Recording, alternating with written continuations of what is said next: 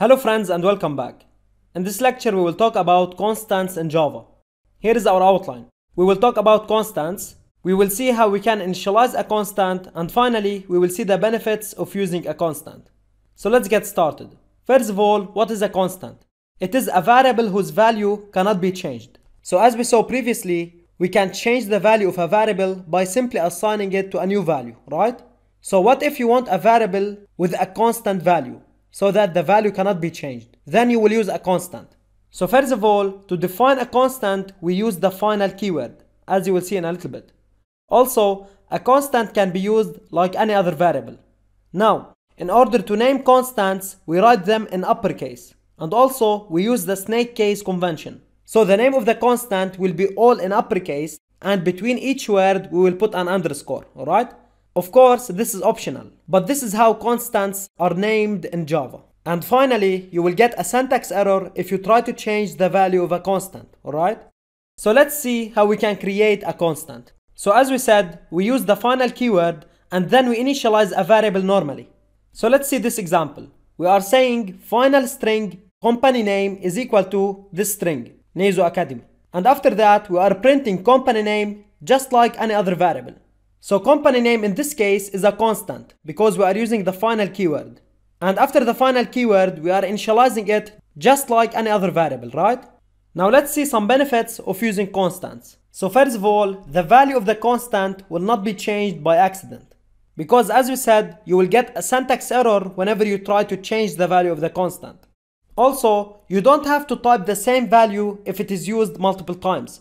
So suppose that you are printing a string 10 times in your program. So instead of typing the string 10 times, you can store the value inside a constant and then you can use the constant 10 times.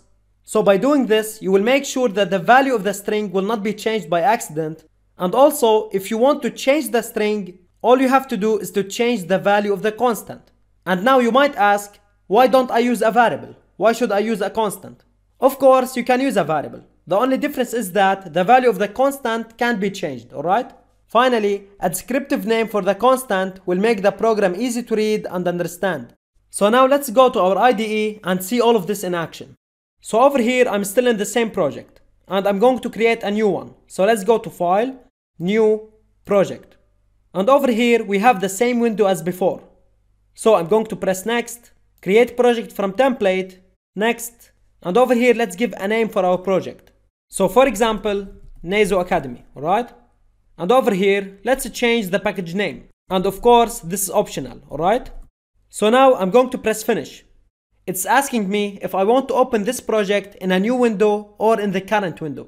So I want to open it in this window, alright? And here is our new project ready. Now let's create a constant. So I'm going to remove this comment and over here, I'm going to create a constant string. So first of all, we will use the final keyword and after that, we will initialize a variable. And in this case, it will be a string. So string, let's say company underscore name is equal to the string Neso Academy, alright? Like this. And now let's print this constant. So s out company name like this, alright? And now I'm going to press shift and F10 to run the program. So as you can see, this is our output. Now let's try to change the value of this constant.